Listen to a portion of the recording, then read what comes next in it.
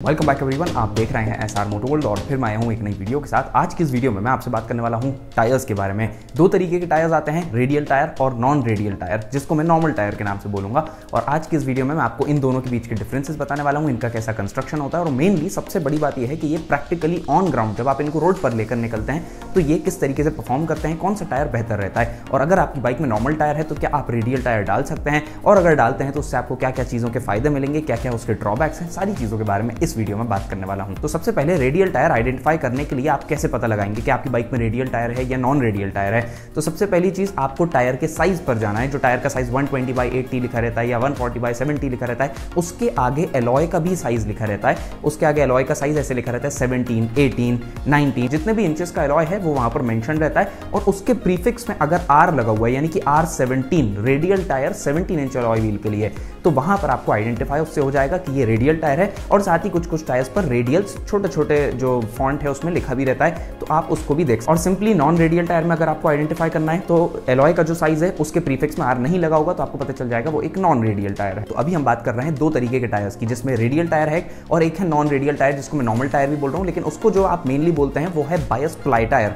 तो बायस ply tyre उसको बोलते हैं, लेकिन मैं उसको नॉर्मल टायर ही बोलूँगा। आपको ऑब्वियसली पता है कि टायर में कॉर्ड्स डली रहती हैं अंदर, और वो जो प्लाई कॉर्ड्स होती हैं, वो टायर की स्ट्रेंथ और एंडियोरेंस को बढ़ाने के लिए डली रहती हैं, जिससे अगर सिर्फ़ खाली रबर का टायर बन जाएगा तो वहाँ पर वो रबर कभी भी डिफ्लेट हो जाएगी, कभी भी दब जाएगी तो रबर में उतनी स्ट्रेंथ नहीं आ पाएगी तो इसलिए कॉर्ड्स उसकी स्ट्रेंथ को बढ़ाने के लिए कंपनी डालती है। अब ये कॉर्ड्स में ही पूरा खेल है। जो कॉर्ड्स का कंस्ट्रक्शन है और अरेंजमेंट है, उसी से आप आइडेंटिफाई करेंगे कि वो रेडियल टायर है या वो बायोस्प्लाई टायर है। बायोस्प्लाई टायर में क्या होता है कि जो कॉर्ड्स हैं, वो क्रिस क्रॉस पैटर्न में डली रहती हैं। थर्टी से फोर्टी फाइव डिग्रीज का क्रिस क्रॉस पैटर्न रहता है और क्रिस क्रॉस पैटर्न में ऐसे डली रहती है कि वो साइड वॉल्स में भी वही सेम सिमेट्री रहती है और जो टायर का क्राउन है, यानी कि उसका जो थ्रेड है उस पर भी सेम सिमेट्री रहती है। और साथ ही बायोस्प्लाई टायर का जो कंस्ट्रक्शन रहता है, वो सिमेट्रिकल कंस्ट्रक्शन रहता है। यानी कि जो ये क्रिस क्रॉस पैटर्न में कॉर्ड्स डली हुई हैं, ये टायर के क्राउन पे, यानी कि जो थ्रेड वाला एरिया है, जो ज़मीन के कॉन्टैक्ट में रहेगा रोड के कॉन्टैक्ट में, उसमें भी क्रिस क्रॉस पैटर्न में डली हैं। और वही सेम कॉर्ड्स जो है, वो साइड वॉल में भी डली हैं। इसका क्या मतलब हुआ? इसका मतलब ये हुआ कि साइड वॉल और जो क्राउन है टायर का, वो बिल्कुल सेम स्ट्रेंथ और सेम एंडियोरेंस का होगा। जितनी मज़बूत साइड वॉल होगी, उतना ही मज़बूत टायर का क्राउन होगा। तो ऑब्वियसली टायर के क्राउन का जो स्ट्रॉन्ग नेचर है, यानी कि थ्रेड का जो स्ट्रॉन्ग नेचर है, वो नेचर साइड वॉल्स में भी आ जाता है टायर के।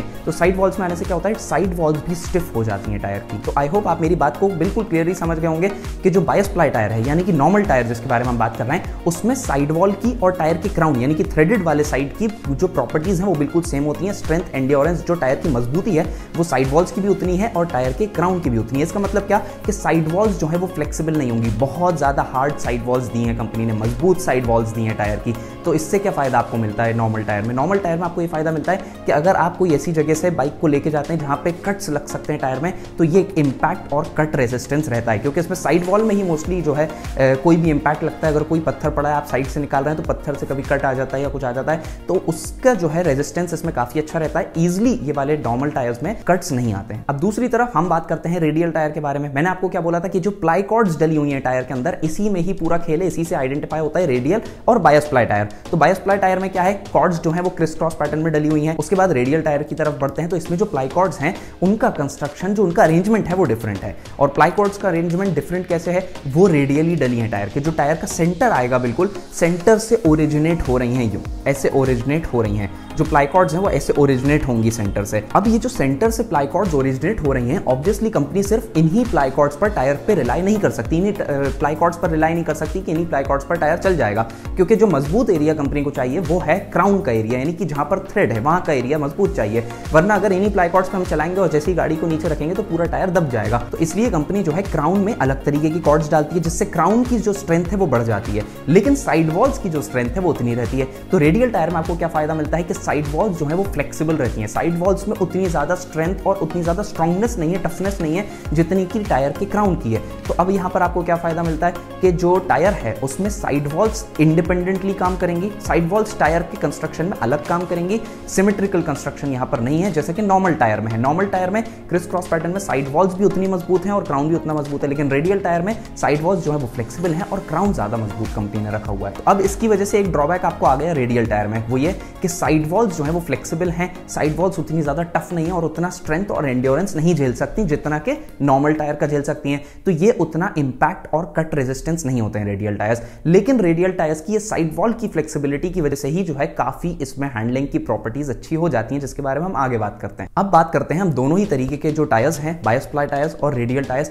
इनके बेनिफिट्स और ड्रॉबैक्स के बारे में। तो ये जो नॉर्मल टायर्स हैं नॉन रेडियल टायर्स ये मोस्टली जो है हैवी मोटरसाइकिल्स के लिए या हैवी व्हीकल्स के लिए सूटेड रहते हैं। नॉन रेडियल टायर्स की जो ऑपरेशनल लाइफ रहती है रोड पर, वो कम होती है रेडियल टायर्स के कंपेरिजन में। क्योंकि इसमें जो हीट है, ये उतना ज़्यादा हाई हीट रेसिस्टेंट नहीं होते हैं और इसलिए ये हाई परफॉर्मेंस मोटरसाइकिल्स या हाई परफॉर्मेंस कार्स में नॉर्मल टायर्स कंपनी नहीं देती। और नॉन रेडियल टायर्स में साइड वॉल स्टिफ होने की वजह से आपको ग्रिप भी उतनी अच्छी नहीं मिल पाती जितनी की रेडियल टायर्स में मिलती है। और नॉन रेडियल टायर्स का एक और रीजन है कि ये रेस कार्स या रेस बाइक्स में यूज़ नहीं होते, वो ये कि इनका जो वेट है, वो भी ज़्यादा रहता है। और साथ ही ये हाई लोड कैरिंग कैपेसिटी के साथ आते हैं तो इसलिए ये ट्रक्स और हैवी व्हीकल्स में यूज़ होते हैं और ये हाई स्पीड पर नहीं चल सकते। अब वहीं अब हम बात करते हैं रेडियल टायर के बेनिफिट्स और ड्रॉबैक्स के बारे में। रेडियल टायर में सबसे बड़ा बेनिफिट आपको मिलता है ग्रिप का। जो ग्रिप आपको रेडियल टायर देता है, वो काफ़ी अच्छी देता है क्योंकि इसकी साइड वॉल्स फ्लेक्सिबल है। तो कॉर्नरिंग के टाइम पर जो साइड वॉल्स है, वो फ्लेक्स करती है, जिस वजह से आपको जो ग्रिप है, वो रोड पर काफ़ी अच्छी मिलती है रेडियल टायर्स में। एक बेनिफिट और है कंफर्ट का। जी हाँ आप ये सोचेंगे टायर्स से कंफर्ट का क्या लेन तो मैं आपको बता देता हूँ रेडियल टायर में साइड वॉल जो है फ्लेक्सिबल है। और जब टायर की साइड वॉल फ्लेक्सिबल है तो वो थोड़े से शॉक्स भी एब्जॉर्ब करती रहेगी कि जैसे कि मैंने आपको बताया था एक बार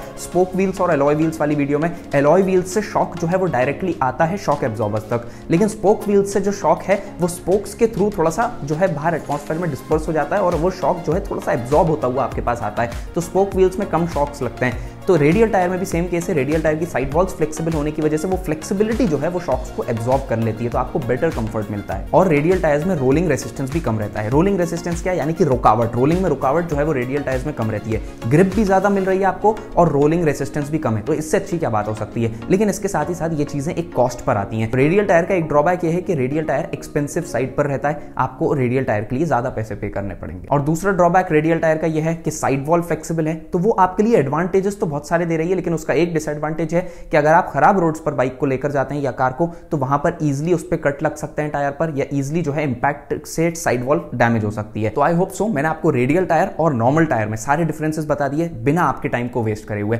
अगर आपको वीडियो पसंद आई तो वीडियो को लाइक कर दीजिएगा चैनल को सब्सक्राइब कर दें। सो guys, thanks for watching. Stay tuned. Till then, wait for my next upcoming interesting videos.